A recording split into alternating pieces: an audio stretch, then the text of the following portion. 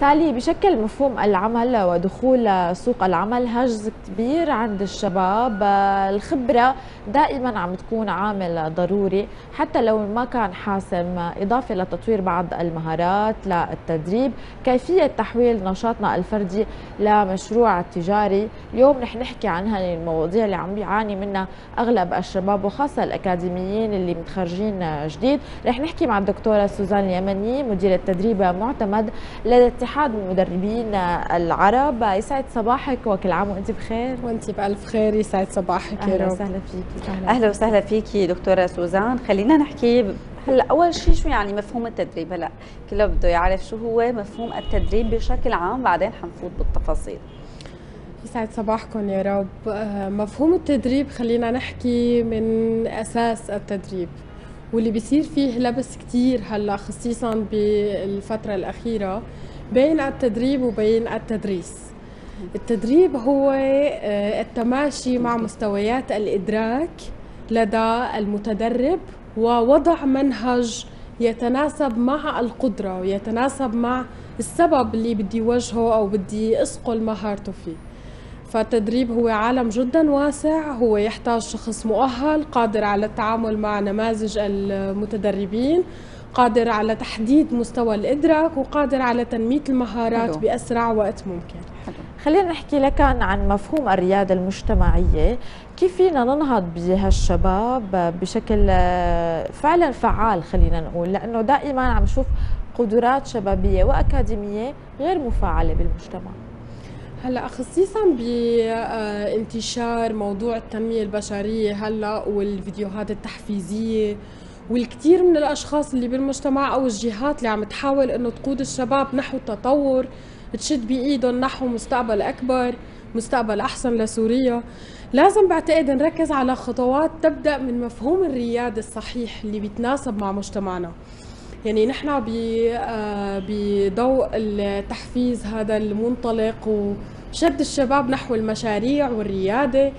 بعتقد لازم يترافق مع دراسة واقعية عن الواقع السوري وما يتناسب من مفهوم الريادة مع واقعنا لحتى نوجه الشباب نحو خطوات حقيقية تكون مدروسة ويحصلوا على نتيجة حقيقية تجاهها. نعم. سوزان يمكن إحنا عانينا حرب آه، على مدار سنوات آه، طويلة. وأيضا هلأ بسبب العقوبات الجائرة على سوريا عم نعاني أيضا من عقوبات اقتصادية. يمكن شوي أمل الشباب هيك خف بإنه يشتغلوا. لا نحن رح نشتغل ونحن واثقين إنه ما حيضل شيء على حاله. الأمور إن شاء الله يا رب رح تتحسن. فخلينا نحكي نحن عن أهمية التأهيل. قبل التدريب التأهيل إنه يكون الشباب مؤهل لدخول سوق العمل مثل ما حكيتي إنه نحن بنشرح له الواقع اللي نحن فيه. وأيضا شوي جرعة أمل تحفيز إنه نحن دائما نحو الأفضل. ما حدا بيرجع لورا كلنا بنمشي لقدام. صحيح هلا نسبة كبيرة من الشباب حاليا بهذا الوقت بتلاقي عندهم هاي بذرة الحافز عندهم الطموح الكبير. لكن توجيه هذا الطموح بشكل صحيح هو الأساس. تمام. يعني أنا لما أهل قبل ما أدرب أو لما آه، وعي الشاب بالخطوات الصحيحة أول شيء لازم حدد له هدفه.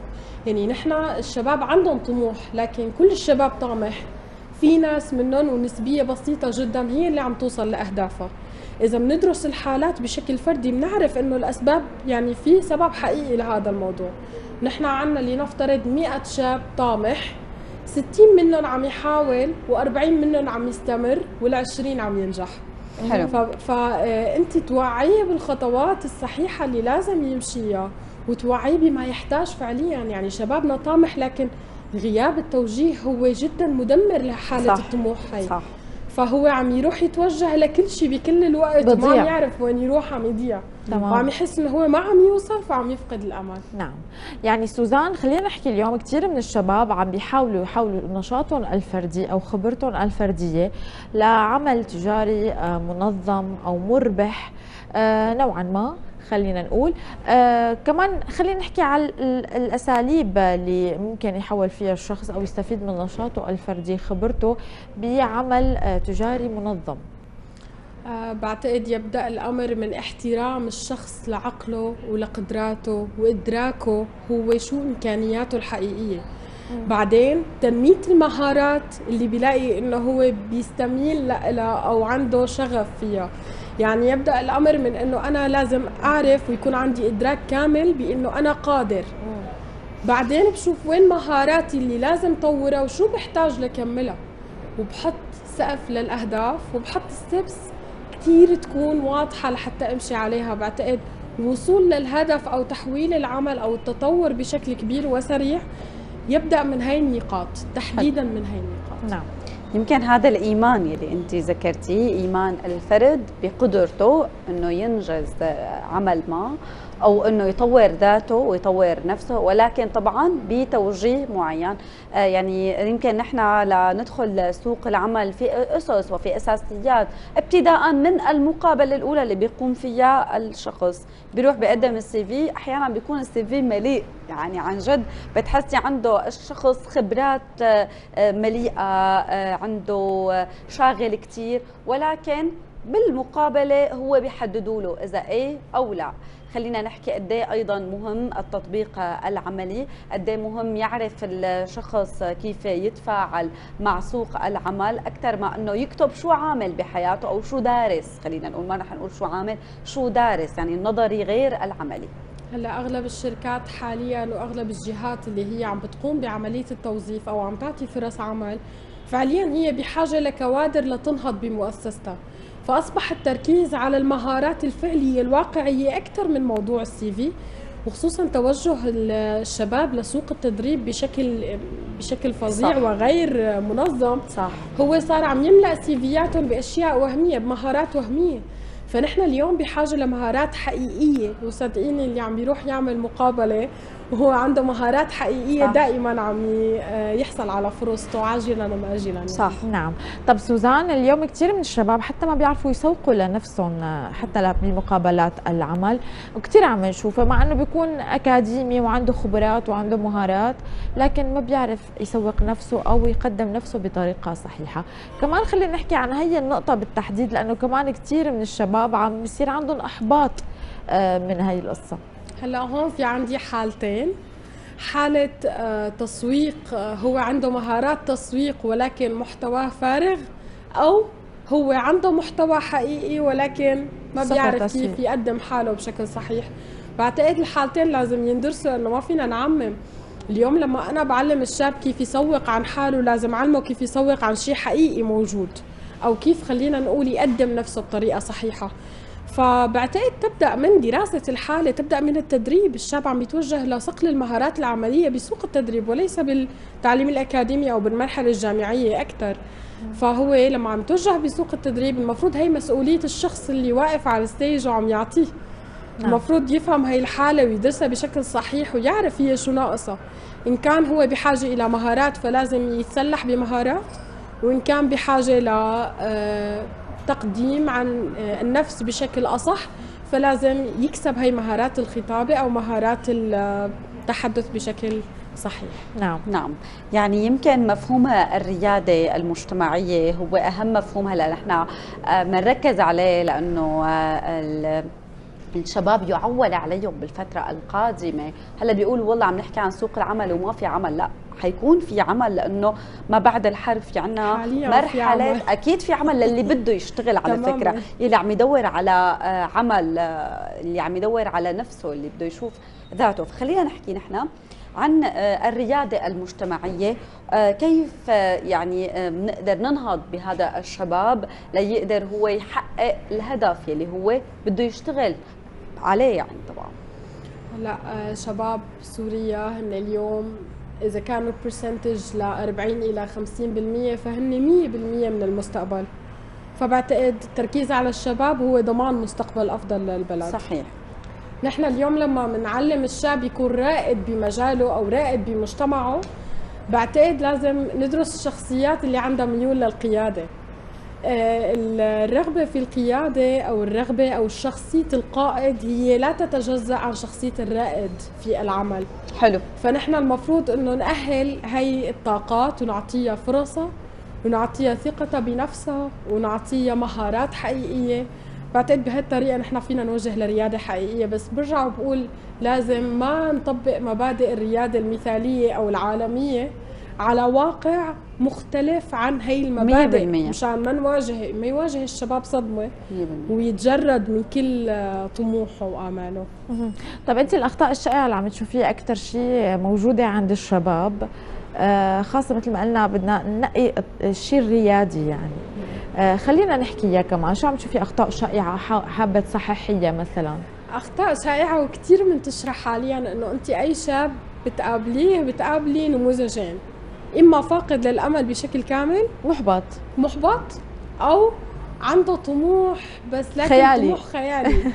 يعني ما في النظرة الواقعية صحيح. للأمور وما في تحديد لأهداف فعلية.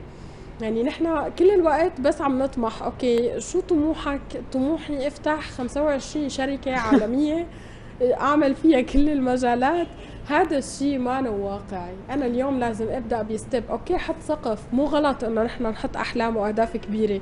لكن هي الأحلام والأهداف الكبيرة لازم أنا جزء منها جزئيات لأوصل لها ثاني شيء لازم واكب اللي عم بيصير وطور من مهاراتي بشكل مستمر.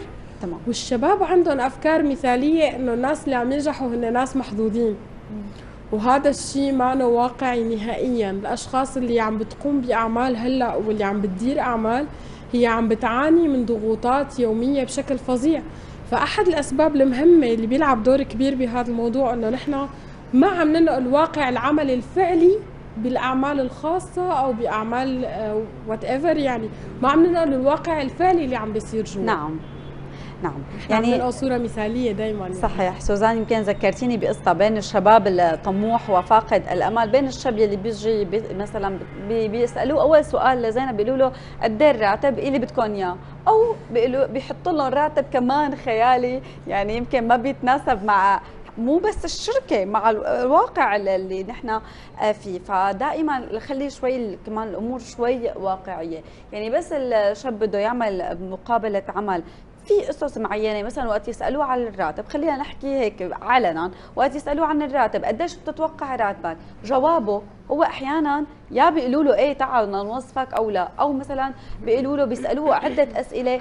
أحيانا بيوقع بالفخ حرام بيكون أول مرة هو عم يعمل انترفيو خلينا نقول فبيوقع بالفخ. شو بد شلون كان يعني لازم تكون هيك أجوبته. كمدربة هذا السؤال بعتقد حسب سياسة الشركة وعلى حسب منهجية الشركة. أحيانا يسأل من قبل مدير الموارد البشرية بهذا السؤال بيكون لسبب اكتشف هذا الشخص مادي أم مهني؟ أو واقعي أم غير واقعي؟ هذا السؤال له سبب فعليا. لما نحن نشوف الجواب وبيوصل لي رسالة عن مكنون هذا الشخص وأحيانا في أجوبة كثير ذكية بالنسبة للأشخاص اللي لساتها هي مقابلتهم الأولى بعتقد كمان بيرجع لسياسة الشركة.